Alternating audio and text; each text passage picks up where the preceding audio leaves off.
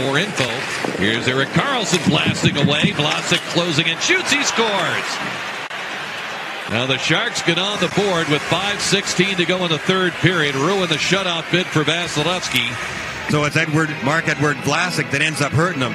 Karlsson takes a shot, but jumping in from the blue line is Marc-Edouard Vlasic. He jumped by Yanni Gourde, I believe it was. Gourde didn't see him go, and by the time, yeah, by the time he reacts, Vlasic gets the fortunate rebound off the Karlsson shot.